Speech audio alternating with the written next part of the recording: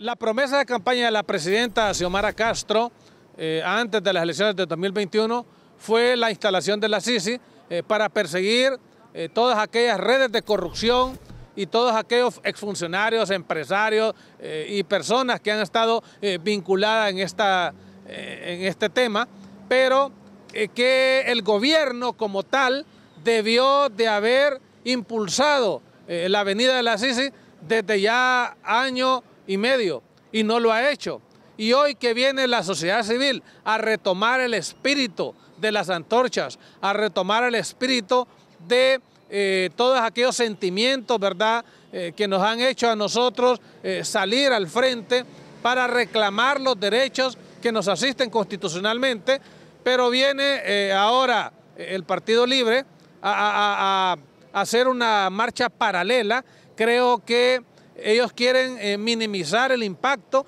que podía generar la conducción de esta marcha encabezada por CESPAD y eso no hace eh, bien a la democracia. Al contrario, debe respetarse el derecho que tenemos las organizaciones civiles y los ciudadanos en participar libremente, ya que eh, poner una marcha a la par con eh, todo